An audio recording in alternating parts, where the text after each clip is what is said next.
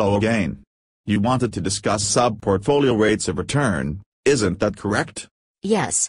You've convinced me that when the client controls the cash flows, time weighting makes sense in order to judge the manager, and when the manager controls external cash flows, money weighting is appropriate. I also accept the value in using money weighting even when the client controls these flows, in order to show how the portfolio or client is doing, that is, to show the impact of the cash flow decisions, size, timing, and direction, inflows versus outflows. You are correct on all points. Thank you. But now I am confused about sub-portfolio returns, as I understand that most firms use time weighting. This doesn't make sense to me, since the managers typically control these internal flows, so why would time weighting be used? Your observations and conclusions are accurate.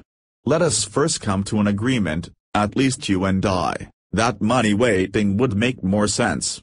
Agreed.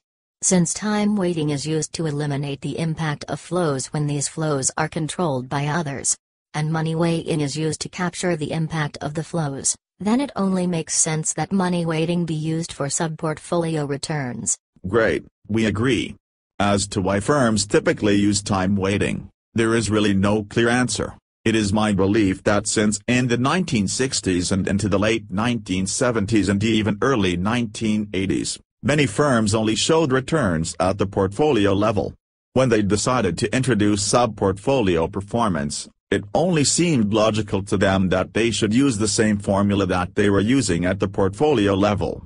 It's interesting that literature from the 1960s and 1970s often refer to this topic, and all agree that money weighting should be used. However, since in the late 1970s many firms were either unaware of these earlier ideas or forgot about them, they made the mistake of adopting time weighting.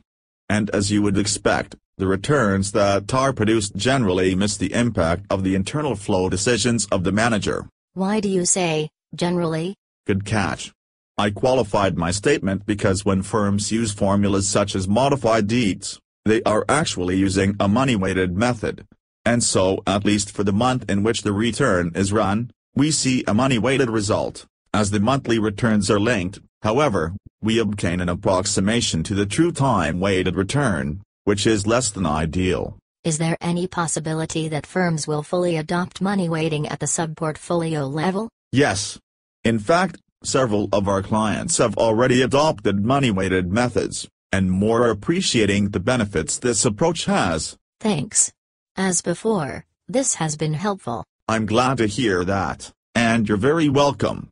When we meet next, can we discuss how linking turns a money-weighted method into a time-weighted one? Yes. Great idea. Thanks.